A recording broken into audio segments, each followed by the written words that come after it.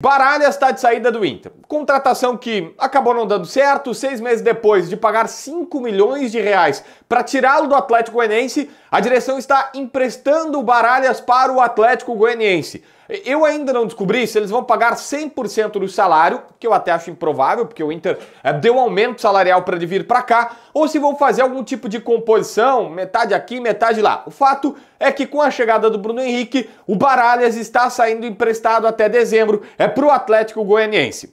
Ele e o alemão nem treinaram neste final de semana. Bruno Henrique é um cara de salário alto, tá? Ele ganhava 700 mil lá no mundo árabe. Me disseram que não vai ser esse salário todo, vai ser um pouco menos, mas assim, um pouco menos, lê-se 500 mil mensais, tá? É um jogador que vem com moral pro estádio Beira-Rio. Então assim, pega o salário do Baralhas, pega o salário do alemão e tu mais ou menos compõe a chegada deste jogador.